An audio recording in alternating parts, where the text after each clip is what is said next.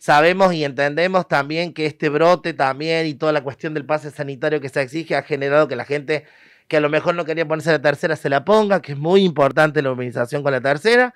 Así que bueno, todo el equipo de vacunadoras con la doctora Rodríguez Frente está trabajando a full. Decir, aclarar y sostener el tiempo que es importante que asistan a las vacunaciones, eh, que completen los carnets de vacunación. Es impresionante la diferencia de una persona que tiene COVID hoy con vacunas y sin vacuna en cuanto al proceso de la enfermedad.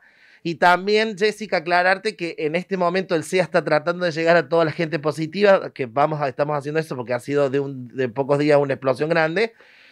Y vamos a estar aplicando este nuevo protocolo que ha alargado la provincia a partir de anoche. Vamos a tratar de consensuar lo anterior que se estaba exigiendo con lo de ahora, llegar a un promedio medio para darle las distintas altas, dependiendo de que si tienen síntomas o no pero lo fundamental del nuevo protocolo son dos cosas, dependiendo de los síntomas y dependiendo de las vacunas que tengan. Es decir, que si la persona no tiene, más no tiene vacuna, va a estar más días del que las tiene. Está pasando las dos cosas, porque hay gente que les ha llegado, como ustedes saben, estos días un montón de notificaciones, pero las personas que tengan de 60 años o más, que tengan que hayan pasado cuatro meses de su segunda dosis, pueden asistir de manera espontánea y todas las personas que tengan cinco meses, que sean de 50 años a 18 que tengan 5 meses cumplidos y de su segunda dosis pueden asistir de manera espontánea. O sea que pueden asistir de una forma o de la otra.